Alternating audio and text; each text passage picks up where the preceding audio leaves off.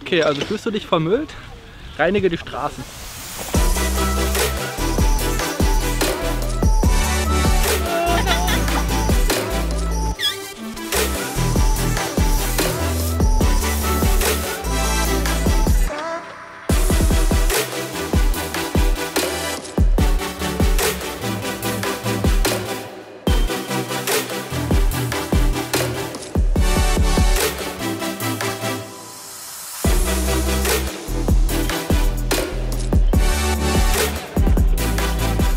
Viel cooler wäre natürlich, wenn man das jetzt nicht notwendig wäre, wenn alle ihren Müll wegräumen. Aber man sieht ja, dass die Leute das einfach alles liegen lassen und deswegen braucht man halt solche Leute, aber es ist cool. Weiter so.